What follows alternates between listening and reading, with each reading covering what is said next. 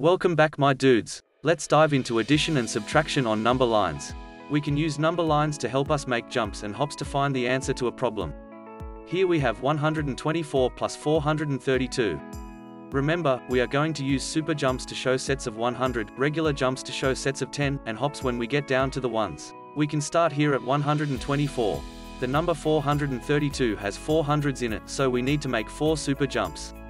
One jump lands us on 224, two jumps lands on 324, three jumps lands on 424, and our last jump lands on 524. Next, we can look at our tens.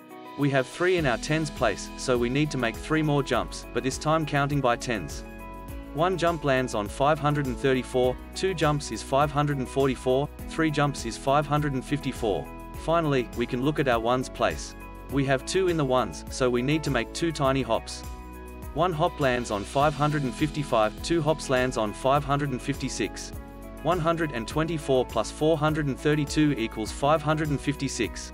Great work. Let's try another one using subtraction. Let's do 756 minus 241. We can start at 756, but this time I will start on the right side of the number line since 756 is larger than 241. We are going to work our way down in the same way. The number 241 has two hundreds, four tens, and one one. We are going to make two super jumps of 100, four jumps of 10, and one hop of 1. Ready? One super jump lands on 656, two super jump lands on 556. Now for our regular jumps. 1, 2, 3, 4. We landed on 516.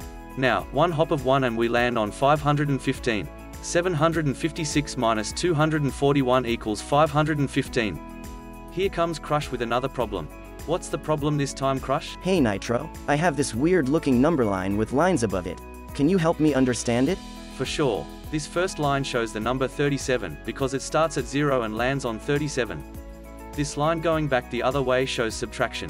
It lands on 12. This number line shows 37 minus 25 equals 12. Oh, that makes much more sense.